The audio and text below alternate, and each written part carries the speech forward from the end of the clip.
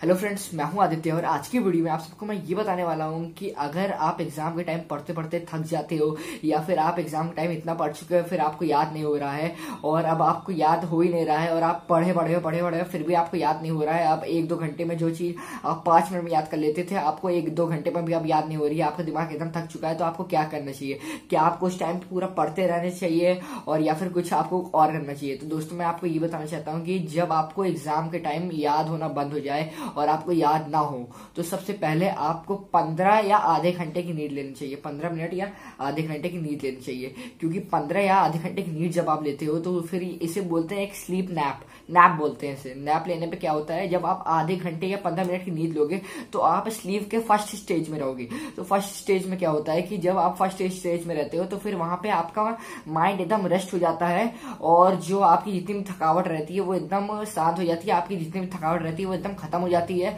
और आप जब उठते हो आधे घंटे या पंद्रह मिनट के बाद तो आपको ऐसा लगता है कि आप आठ, नौ घंटे सो के उठे हो। पर अगर आप एक घंटे सो गए या एक घंटे से ऊपर सो गए तो फिर आप नहीं उठोगे और आप फिर उठोगे भी तो सो जाओगे वापस से और आपको याद नहीं होगा। तो जब भी आपको याद ना हो तो आप पंद्रह मिनट या आधे घंटे की एक नींद ले लो, उसके बाद आपको एकदम बहुत जल्दी जल्दी याद होने लग जाएगा। तो फ्रेंड्स, ये एक छोटी सी इन्फॉर्मेशन देनी थी अगर ये वीडियो अच्छी लगी तो वीडियो को लाइक करना और चैनल को सब्सक्राइब करना। Thank you for watch